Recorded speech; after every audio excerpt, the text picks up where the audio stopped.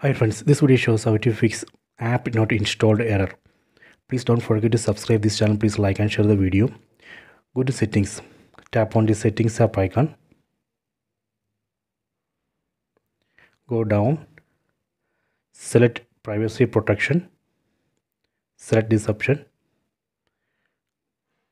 Select special permissions. From this uh, options we have to select install unknown apps. So here we can see list of apps.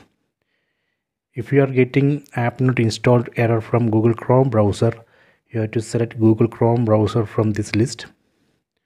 So let me find chrome browser.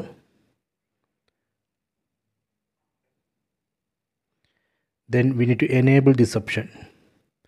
We can just tap here and enable it.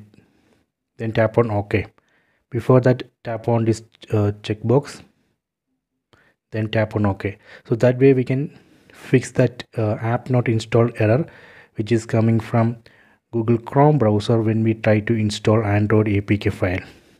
Similarly if we are getting this error app not installed error from file manager app or firefox browser you have to select firefox or file manager app from this list then enable this option.